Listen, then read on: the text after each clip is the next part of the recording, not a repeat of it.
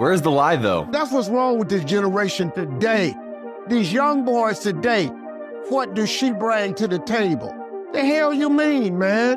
What do your bring to the table? You got a woman that can come to the table that can make another you. What else she need to slide up to the table with? What about your job? What happened to men who were supposed to be responsible? Do you know that it's our job to take care of a woman and some children, to have a family? That's our job. The Bible says that the husband is to be the head of his wife, but that comes with a responsibility. We're supposed to be her covering, we're supposed to protect her, and we're supposed to love her as Christ loved the church. And Jesus died for his bride. If you agree, type amen in the comments and click follow or subscribe for more.